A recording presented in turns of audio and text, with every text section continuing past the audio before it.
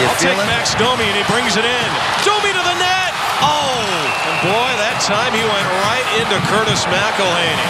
That is a collision. Oh, oh, my goodness. How about the wheels of Max Domi and McElhinney still not sure where he is. He thinks he's back in Columbus right now. My goodness. He stands tall and makes the save. And takes a big hit. Helmet goes flying. My goodness. Curtis McElhinney is uh, answering the questions, and, Oh, let's hope he's okay. and a nice, uh, a nice sign of sportsmanship too, because Max Domi went over and retrieved McElhinney's helmet. It happened so quickly. Here it is. Oh, what a play by Max Domi. The quick up, the speed. And McElhinney comes way out of his net. Look how far out he is. Takes a hit right on the button.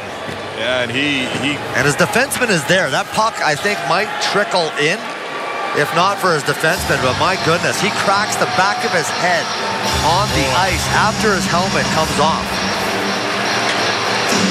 But that's one of those plays that that puck goes in the net. It's a good goal.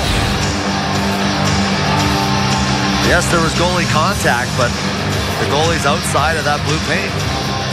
Curtis McElhinney is uh,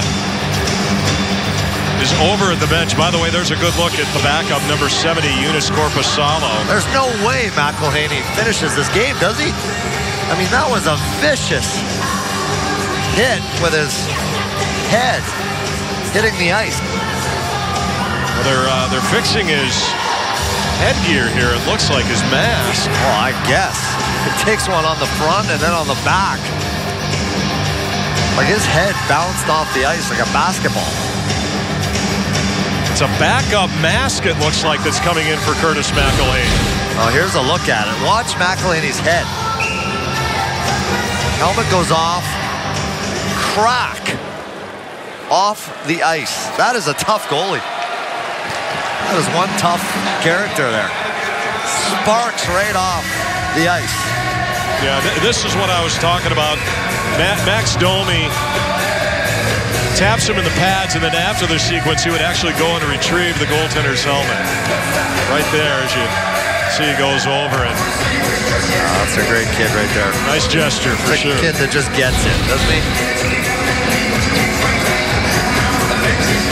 Well, he's going